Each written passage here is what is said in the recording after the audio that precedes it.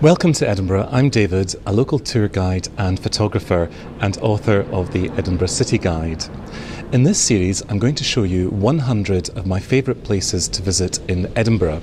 Today, this is number three in the series, and you find me at Edinburgh's historic Tweeddale Court, which many of you might recognise from the Outlander TV series. The entrance to Tweeddale Court is located opposite John Knox House.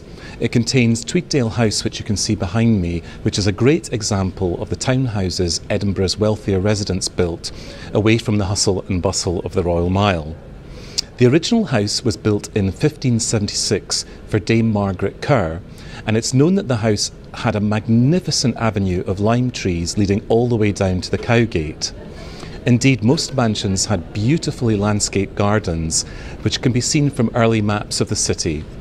The court is the scene of one of Edinburgh's most notorious and unsolved crimes. Bank worker William Begbie was found murdered in the close. He'd been robbed of £4,392, which was a lot of money for the time. The culprit was never actually found, but most of the money was found in an old wall near Drummond House nearby. The city's smallest listed building is located here, which you can just see over my shoulder. It's a stone built sedan chair house, the wealthy much favoured being carried around the city, and I wouldn't blame them given the filthy streets that existed. It's remarkable it still survives and is a listed building. I think it's the smallest listed building in the city. This location will be very familiar to Outlander fans.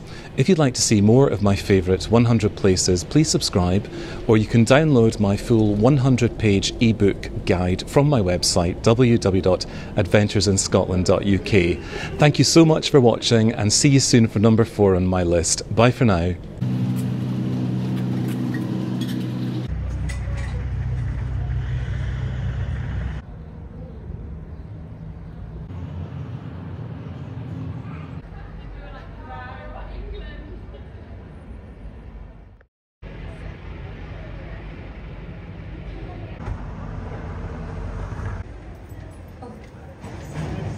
If anybody wants a nice coffee, this place in here is fantastic.